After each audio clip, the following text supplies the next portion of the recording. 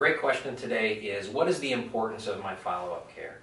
Follow-up care is the most critical part to the purchase of a hearing aid. The purchase actually of a hearing aid is very easy from the standpoint of you've had your hearing test, um, the diagnosis has been made, the decision on which model, which product to go with has been made, but now the follow-up care is where everything is, uh, it's where the, the money is actually earned from a standpoint of programming, reprogramming, sitting down, discussing um, situations, how to um, how to improve your overall situations.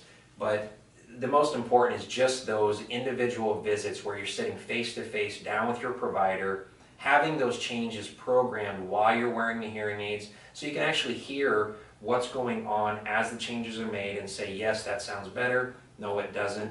There are a lot of places that are doing drop-off service now where you're not actually wearing the hearing aids or seeing your provider face to face, but at Concept you will always, um, in your follow-up care, have face-to-face, sit down, one-on-one, wear your hearing aids while they're being programmed or reprogrammed. Um, that's all the time at Concept, and you should see your provider every four to six months on a regular basis.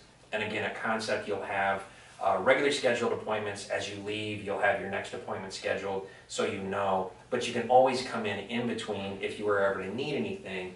Um, your follow-up care, your checkups are just set for if everything's going okay. But if you needed to come in sooner, you can. It's it's unlimited.